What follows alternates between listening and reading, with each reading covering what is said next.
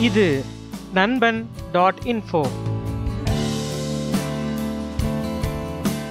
ஆசிரியர்கள் அனைவருக்கும் வணக்கம். இன்னைக்கு நம்ம பேப்பர் ஒன்ல பார்ட் பி ல இருக்கக்கூடிய மூணாவது யூனிட் அதாவது கான்செப்ட்ஸ் அண்ட் கன்ஸ்ட்ரக்ட்ஸ் புதுமை கருத்தும் கருத்துருவாக்கமும் அப்படின்ற ஒரு யூனிட்டுக்கு நம்ம இப்போ போறோம். ஒரு குழந்தை வசிக்கும் உலகம் பாத்தீங்கன்னா அந்த குழந்தையினுடைய தொட்டிலுக்கு அப்பால வெகுவா விரிவடையுது முக்கியமா அந்த குழந்தையினுடைய எண்ணங்கள் திட்டங்கள் அக்கறை போன்ற விஷயம்லாம் வளர வளர பெரிய விரிவை வந்து அந்த குழந்தைக்கு கொடுக்குது. குழந்தையின் அறிவு குழந்தையின் அறிவு வாழ்க்கை அவனை அடுத்துள்ள நேரடியான அன்றாட வாழ்க்கைக்கு அப்பால் உள்ள உலக நிகழ்ச்சிகளில் அதாவது நம்ம அண்மையில இருக்கக்கூடிய செய்மையிலிருந்து மிகுந்த அக்கறைகளாலும் பெருகுது. அதை தொடர்ந்து தான் அந்த குழந்தையினுடைய கருத்தும் உருவாகி வளர்ச்சி வருகிறது.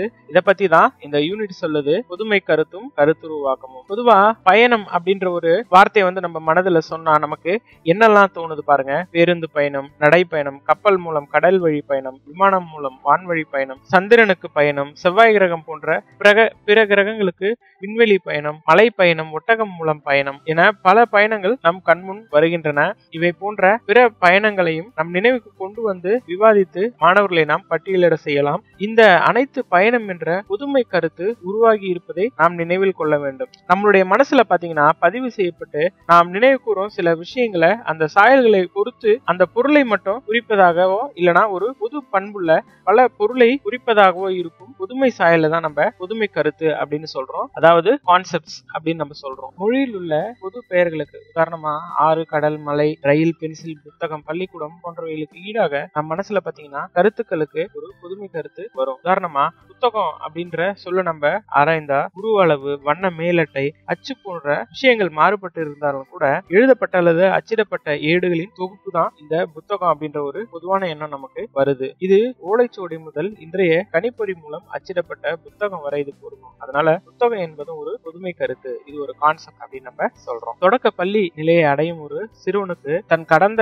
காலத்தை நினைவுபடுத்திக் கொள்ளவும் வருங்காலத்தை திட்டமிடவும் அவனால இயலும். அதனால அவனுக்கு கிடைத்துள்ள தகவல் வந்து இவற்றின் வரம்புக்குள்ள அவன் தொகுத்து ஆய்வு செய்யறதும் பகுத்தறிவு ஆய்வு செய்யறதும் செய்யறான். கற்பனை செய்யறதுக்கும் கணக்கற்ற குறுக்கீடுகளை அவை குறிக்கும் இயற்பியல் பொருள்கள் உண்மை நிலையை கையாள வேண்டிய அவசியமின்றி அந்த மனதுல தோன்றக்கூடிய ஒரு விஷயத்தை வச்சுமே இந்த அடிப்படை புதுமை கருத்துக்களை உருவாக்காம பழகிக்கிறான். இதனால இந்த பொதுமை கருத்து அப்படின்றது பார்த்தா மாணவர்கள் வந்து அவங்க சொந்த சாயல்ல உருவாக்கக்கூடிய விஷயம் மாறுது. அந்த சாயல் நிலைக்கு அவங்க பழகப்படுத்தப்படுறாங்க பழகிக்கும் ஆரம்பிச்சுக்கிறாங்க. அடுத்த தலைப்பு பாத்தீங்கன்னா புதுமை கருத்து உருவாதல். நம்முடைய தேசத்தந்தை காந்தியடிகள் பாத்தீங்கன்னா இடுப்புல ஒரு சாதாரண கதர் வேஷ்டியும் மேலடுக்கு ஒரு கதர் துண்டு தான் கொத்திட்டு இருந்தாரு கையால தைக்கப்பட்ட ஒரு சாதாரண தோல் செருப்பும் அணிந்து உடலுக்கு தேவையான சத்துள்ள உணவு அருந்தி ஓடுகள் வைந்த சாதாரண கட்டிடங்களால் அமைந்த சபர்மதி ஆசிரமத்துல ஒரு எளிய வாழ்க்கையை வாழ்ந்து வந்தாரு. பொய் பேசாம உண்மையை மட்டுமே பேசி எந்த உயிருக்கும் மனதாலையும் சொல்லாலையும் செயலாலையும் தீங்கு நேராத விதத்துல நேர்மையாக அவர் வாழ்ந்து காட்டினார். எளிய வாழ்க்கை வாழ்ந்து வந்த வீரமுத்து அப்படின்ற ஒரு சைக்கிள் ரிக்ஷா தொழிலாளி யாரோ ஒரு பயணி தன்னுடைய சைக்கிள் ரிக்ஷாவில் தவற விட்டு சென்ற நகைகளும் பணமும் அடங்கிய கைப்பையை வந்து நேர்மையோட அருகில் இருந்த காவல் நிலையத்துக்கு ஒப்படைத்த அவரின் பாராட்டை பெற்றார். இந்த எளிமை நேர்மை போன்ற பண்பு பொது கருத்துக்கள் வந்து இதுல உருவாயிருக்கு. இது போன்று வேறு ஒரு உதாரணத்துடன் ஏதாவது ஒரு பொது கருத்தை நம்ம வகுப்புல விவாதிக்கலாம். பள்ளிகள்ல மாணவர்கள் சேரும் சேரும்போது பல பொதுமை கருத்துக்களை பெற்று வராங்க. ஆனா அவர் வந்து ஒரு அக்யூரேட்டான விஷயமா இருக்கிறது இல்ல அதனால ஆசிரியர் வந்து நிறைய எக்ஸாம்பிள்ஸ் எல்லாம் சொல்லி அந்த புதுமை கருத்து அப்படின்னா என்னன்ற விஷயத்தை வந்து நம்ம மாணவர்களுக்கு சொல்லி கொடுக்கலாம். இதனால புதுமை கருத்து மேலும் மேலும் துல்லியமாகக்கூடிய விஷயம் நடக்குது. வகுப்பறையில கற்றல் கற்பித்தல் நிகழ்வு நடந்து முடிந்த பிறகு முக்கியமான பொதுமை கருத்துக்களை வந்து ஆசிரியர் தொகுத்தளித்து சொல்றது ஒரு நல்ல விஷயம். பொதுமை கருத்துக்களை கற்பிக்கையில வந்து உதாரணங்கள் மட்டும் இல்லாம எதிர்நிலை உதாரணங்களையும் ஆசிரியர் கூறுவது அவசியம். நல்ல செயல்கள் அப்படின்ற ஒரு விஷயத்த சொல்லும் போது நல்லது இல்லாத செயல்கள் எது அப்படின்றதையும் நம்ம எடுத்து சொல்லணும். அப்பதான் அது மாணவர்களுக்கு எளிதா சென்று சேரும். பொதுமை கருத்து உருவாக்கும் திறன் பாத்தீங்கன்னா ஒரு மாணவருக்கு வந்துருச்சுன்னா பிரச்சனையை தீர்க்கும் திறனும் கருத்தியல் நிலையில் சிந்திக்கும் திறனும் அவனுடைய வயது முதற் வயது முதிர்ந்த நிலையில வளர்ச்சி சார் செயல்களா அது வெளிப்படும். இதனால இந்த புதுமை கருத்து உருவாகும் திறன் வந்து ஒரு மிகப்பெரிய பங்கு வந்து அந்த மாணவர்களுடைய வளர்ச்சியில செய்யுது. மூன்றாவது தலைப்பு பாத்தீங்கன்னா பொதுமை கருத்து உருவாதலுக்கான காரணிகள். மாணவர்கிட்ட ஏற்கனவே கற்ற ஒரு பாடத்தின் கருத்து அடிப்படையில தற்போது படிக்கும் பாடத்தினை மிக விரைவாகவும் சிறப்பாகவும் கற்றுக்கொள்றாங்க. இதுக்கு நேர் மாற்றம் அதாவது பாசிட்டிவ் டிரான்ஸ்பர் அப்படின்னு சொல்றாங்க. இதுக்கு தெளிவு நிலை வந்து ஒரு முக்கியமான காரணியா இருக்கு. இது வந்து கருத்து உருவாக காரணமாக அமையும் மற்றொரு காரணி இது பொதுவான குணங்களை தனிமைப்படுத்தி அவற்றின் ஒரு குழுவாக பிரித்தலை குறிப்பிடும். மேல சொன்ன மாற்றம் கூட இந்த தெளிவு நிலையும் முக்கிய பங்கு வகிக்குது. அதுக்கு அடுத்து கையாளும் திறன். புதுமை கருத்துக்கள் உருவாவதற்கு மிகவும் இன்றியமையாததாக ஒழுங்குபடுத்தல் மீண்டும் சீர்படுத்துதல் திரும்ப கொணர்தல் போன்ற நிகழ்ச்சிகள் அல்லது செயல்களின் அடிப்படையில கருத்து உருவாதல் அமையுது இந்த செயல்முறைக்கான தயார் நிலையம் வந்து ஒரு காரணியா இருக்கு. உதாரணமா ஒரு பொருட்கள் உள்ள பொதுவான குணங்களை வந்து நம்ம ஆராய்ச்சி பண்ண ஆரம்பிக்கிறோம் அப்படின்ற செயல்முறையில வந்து தயார் நிலையை உருவாக்கினதுனால ஒருவன் மிக சிறப்பாக செயல்படக்கூடிய நிலைக்கு செல்றான். இத்தகைய செயல்முறைக்கான தயார் நிலை இல்லைன்னா சிறப்பான கருத்துக்களை வந்து நம்மளால உருவாக்க முடியாது. அதுக்கு அடுத்த காரணி பாத்தீங்கன்னா விவரங்கள் கிடைத்தல். கருத்து உருவாக்குவதற்கு தேவையான தொடர்புள்ள பல விவரங்கள் கிடைக்குதுன்னா ஒருவனால மிக விரைவா பொதுமை கருத்துக்களை உருவாக்க முடியும். இந்த ஐந்து காரணிகளும் புதுமை கருத்து உருவாவதற்கு மிக முக்கிய பங்கு வகிக்குது. அது என்னன்னு நான் திரும்ப சொல்றேன். மாற்றம் தெளிவு நிலை கையாளும் திறன் செயல்முறைக்கான தயார் நிலை விவரங்கள் கிடைத்தல். ஸோ இந்த காரணிலாம் முக்கியமான பங்கு வகிக்கும் போது மாணவருக்கு புதுமை கருத்து உருவாகக்கூடிய அதாவது கான்செப்ட்ஸை கிரியேட் பண்ணக்கூடிய ஒரு வாய்ப்பு எளிமையா கிடைக்குது. பொதுமை கருத்தினுடைய வகைகள் அடுத்து பார்ப்போம். நான்காவது டாபிக் இந்த பொதுமை கருத்துக்கள் பாத்தீங்கன்னா வெவ்வேறு கிளை வகைகளா இருக்கு. ஒண்ணு எளிமையான வகை அதுக்கடுத்து சிக்கலானவை அதுக்கடுத்து கற்பனை பொருட்கள் பற்றியவை. இதுல பொருட்கள் பற்றியவைன்னு ஒண்ணு இருக்கு. பொருட்களின் கூறுகள் அதை பத்தினது அதுக்கடுத்து இந்த பொருட்களின் கூறுகள்ல பண்புகள் பற்றியவையும் தொடர்புகள் பற்றியவையும் என இரு கிளைகளும் இருக்குது. இதுல முதல் வகை பாத்தீங்கன்னா எளிமையான பொதுமை கருத்து. இது வந்து ஒரே ஒரு பொது பண்பை மட்டும் கொண்டதா இருக்கும். எடுத்துக்காட்டா சதுரம் முக்கோணம் பச்சை நிறம் போன்ற விஷயங்கள்லாம். இது அந்த விஷயத்தை பத்தி மட்டும்தான் பேசும். இதுக்கு கிளை கான்செப்ட்ஸ் எல்லாம் இருக்காது. இரண்டாவது சிக்கலான பொதுமை கருத்து. இது வந்து இரண்டு அல்லது அதற்கு மேற்பட்ட பண்புகளை கொண்ட சிக்கலான பொதுமை கருத்தா இருக்கும். எடுத்துக்காட்டா பாத்தீங்கன்னா சிறிய நீல நிற சதுரக்கட்டை குடியரசு நாடு. சோ இதுக்கு வந்து நீல நிறம்னா என்னன்னு தெரியணும் சதுரக்கட்டைனா என்னன்னு தெரியணும் சிறியது பெரியது அப்படின்றதெல்லாம் இருக்கும். சோ இதனால சிக்கலான ஒரு பொதுமை கருத்தா இருக்கு. அடுத்து பொருட்கள் பற்றிய பொதுமை கருத்து. இது வந்து வண்டி வீடு விளையாட்டு மைதானம் போன்ற விஷயங்களை பத்தி சொல்லுது. நான்காவதா பொருட்களின் கூறுகள் அதை பற்றிய வகைகள். இது வந்து பொருட்களின் கூறான பண்புகளை பற்றியது. எடுத்துக்காட்டா நேர்மை எளிமை மினுமினுப்பு போன்ற விஷயங்கள். அதுக்கு அடுத்து பொருட்களின் கூறான தொடர்புகள் பற்றியது. இது வந்து ரிலேட் பண்ணி சொல்லும். மேல இருக்கிறது பண்புகளை சொல்லுது. ரெண்டாவது ரிலேஷன்ஷிப் இதை விட பெரியது. அதை விட உயரமானது. இதை சொல்லும்போது வேறொரு விஷயத்து கூட நம்ம தொடர்பு படுத்தி சொல்றோம். அதனால இது வந்து பொருட்களின் கூறான தொடர்புகள் பற்றிய விஷயமா கருதப்படுது. அதுக்கடுத்து உலகில் உள்ளவற்றை பற்றி மற்றும் இன்றி கற்பனை பொருட்கள் பற்றியும் பொதுமை கருத்துக்களை நம்மால தோன்றுவிக்க முடியும். எடுத்துக்காட்டா சொர்க்கம் நரகம் வான்வீதி போன்ற விஷயங்கள். பொதுமை கருத்துக்கள் வந்து மேல சொன்ன மாதிரி படிப்படியா விரிந்து எளிய நிலையிலிருந்து சிக்கலான மேல்நிலைக்கு செல்லக்கூடிய விஷயமா? அது அமையுது. அடுத்ததா ஐந்தாவது டாபிக்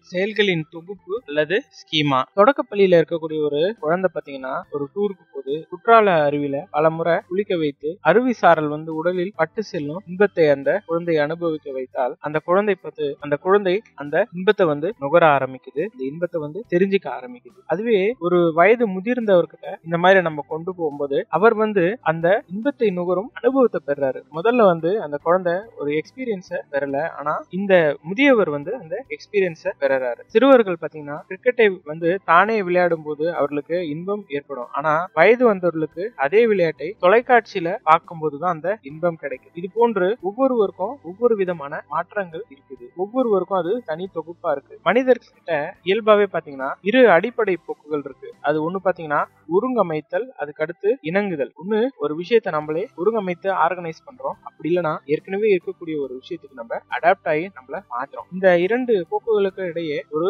சமநிலைப்படுத்தும் செயல்முறை வந்து உதவுகிறது. ஒருங்கமைத்தல் இணங்குதல் ஆகிய ரெண்டு விஷயம் அதாவது ஆர்கனைசிங் மற்றும் அடாப்ஷன் இந்த ரெண்டு விஷயத்தையும் சேர்ந்து பெறப்படும் அனுபவங்களை வந்து பிரித்து உணர்ந்தோம் தொகுத்து பார்த்தோம். அந்த அறிவினை பெற இந்த குழந்தைகள் வந்து முயற்சிக்கிறாங்க. இது வந்து அறிவை பெறவும் அவர்களுக்கு உதவுது. இணங்குதல்ல பொருந்துதல் அதாவது அகாமடேஷன் தன்வயப்படுத்தல் அசிமுலேஷன் ஆகிய விஷயங்கள் காணப்படுது. அதாவது இந்த அடாப்ஷன்ல குழந்தை வந்து வளர்ச்சி அடைய சூழ்நிலையில இருந்தும் அந்த குழந்தை பெறும் அனுபவங்கள் எவ்வாறு ஒருங்கிணைக்கப்படுது எவ்வாறு இணக்கம் பெறுது போன்ற விஷயங்கள் அந்த குழந்தையின் அப்போதைய வளர்ச்சி நிலையை பொறுத்தது. ஆனா எந்த நேரத்திலும் அறிதல் வளர்ச்சியின் அடிப்படை வந்து ஒருங்கமைத்தலும் இணங்குதலும் ஆகும். அதாவது இந்த அறிதல் வளர்ச்சியினுடைய அடிப்படை என்னன்னு பாத்தீங்கன்னா ஆர்கனைசிங்கும் இந்த அடாப்டிங் சார்ந்த விஷயங்களும் தான் இந்த மாதிரி விஷயங்களை மாறா செயல்கள் அப்படின்னு சொல்றாரு வியாஜி. எடுத்துக்காட்டா பாத்தீங்கன்னா பிறந்த குழந்தைக்கு வந்து தாய் தாய்ப்பால் மட்டும்தான் உணவா கொடுக்கறாங்க. ஏன்னா அந்த குழந்தையோட உடல்ல உணவு செரிமான அமைப்பு வந்து பாலை மட்டும்தான் ஜீரணிக்கக்கூடிய விஷயமா இருக்கு. சில மாதங்களுக்கு பிறகு சிறிது சிறிதா கூழ் காய்கறிகள் திட உணவு போன்ற விஷயங்களை குழந்தைக்கு கொடுக்கும்போது சமநிலை பிறழ்வு ஏற்பட்டு வயிற்றுப்போக்கு போன்ற சிக்கல்களும் ஆரம்பத்துல ஏற்பட ஆரம்பிக்குது. சில நாட்கள்ல இந்த வயிற்றுப்போக்கு நின்று திட உணவுப் பொருட்களை செரிக்கும் வகையில அதன் உணவு செரிமான அமைப்பு வந்து மாற்றம் அடையுது. இதே போன்று குழந்தையின் அறித்திறன் கட்டமைப்பும் அது எதிர்கொண்டுள்ள சிக்கலான கருத்துக்களை தன்வயப்படுத்திக் கொள்ளும் வகையில் மாற்றம் அடைந்து கொண்டே இருக்குமா. இவ்வாறு அறிதிறன் கட்டமைப்பு வந்து மாற்றம் அடைகிறதுனாலதான் குழந்தையோட அறிவு வளர்ச்சி ஏற்படுது. அதனால அறிதிறன் வளர்ச்சி என்பது பாத்தீங்கன்னா அறிதிறன் இருக்கும் பொருட்களின் அளவு அல்லது எண்ணிக்கையின் பெருக்கம் மட்டும் கிடையாது. ஆராய்ந்து அறியும் முறையிலேயே பெருத்த மாற்றங்களை நம்ம பெறக்கூடிய நிலைக்கு போறோம். இந்த அறிதிறன் கட்டமைப்பினுடைய கிளைகள் என்னென்ன அப்படின்னு பார்ப்போம். முதல் கிளை பாத்தீங்கன்னா ஒருங்கமைத்தல் அடுத்தது இணங்குதல். இந்த இணங்குதல்ல தான் பொருத்துதலும் தன்வயப்படுதல் அதாவது ஃபர்ஸ்ட் பிரான்ச் வந்து ஆர்கனைசேஷன் அதுக்கு அடுத்து அடாப்ஷன் இந்த அடாப்ஷன்ல ரெண்டு இருக்கு. ஒன்னு அகாமடேஷன் இன்னொன்னு அசிமுலேஷன் உதாரணமா பாத்தீங்கன்னா பாக்குறது ஒரு இன்ட்ரெஸ்ட் காட்டுறது. ஆகிய ரெண்டும் உடல் திறன்களை பெற்ற- பின்னாடி அவற்றை முறையாக இணைத்து தான் பார்த்த பொருட்களை பொறுக்கி எடுக்க என்ற உயர்திறனை பெறாங்க. அதாவது அந்த பொருட்களை தனித்தனியா பிரிச்சு எடுக்கிறது இல்லைன்னா பிக்கப் பண்றது விஷயங்களை செய்யறாங்க. ஒரு பொருட்களை பற்றிய அறிவு வந்து நம்ம உடல் வழியாவோ இல்லைன்னா மனம் வழியாவோ அதை நம்ம கையாளணும். இவ்வகை செயல்களின் தொகுப்புகளை தொகுப்புகளை தான் ஸ்கீமா அப்படின்னு சொல்றாங்க. அறிதிறன் வளர்ச்சியடைய ஸ்கீமா வந்து உடல் இயக்க சார்பு நிலையில இருந்தும் மனவியக்க சார்பு நிலை இல்லைன்னா கருத்தியல் நிலைக்கு மெல்ல மெல்ல மாறுது. உடல்ல இருந்து மனதை நோக்கி விஷயங்கள் போக ஆரம்பிது ஸ்கீமா உருப்பெறும் தன்மைக்கேற்ப குழந்தையின் அறிவுத்திறன் வளர்ச்சி நிலை இந்த மாதிரி எல்லாம் இருக்குதான். சோ பிறந்த குழந்தை முதல் ரெண்டு வயது குழந்தை வரை பாத்தீங்கன்னா புலனியக்க நிலையை நோக்கி அவங்க போறாங்க. ரெண்டுல இருந்து ஏழு செயலுக்கு முற்பட்ட நிலை அதாவது ஒரு செயலை செய்ய தொடங்குறதுக்கு முந்தைய நிலையா இருக்கு. ஏழு முதல் பதினோரு வயது பாத்தீங்கன்னா புலனீடான செயல்நிலை அல்லது பருப்பொருள் நிலை. பதினோரு வயதுக்கு மேல் கருத்தியல் நிலை. சோ இதெல்லாம் செயல்களின் தொகுப்பு அல்லது ஸ்கீமா முறை இருக்கக்கூடிய விஷயமும் அது பிறக்கக்கூடிய காரணமும் நம்ம தெரிஞ்சுக்கிட்டோம். சரி நண்பர்களே இந்த யூனிட்டோட இரண்டாவது அதாவது செகண்ட் ஹாஃப் நம்ம அடுத்த ஆடியோல பார்ப்போம். இந்த ஆடியோ உங்களுக்கு பிடிச்சிருந்தா உங்க நண்பர்களுக்கு இந்த ஆடியோவோட லிங்கை ஷேர் பண்ணுங்க. தொடர்ந்து இணைந்திருங்கள். நன்றி வணக்கம்.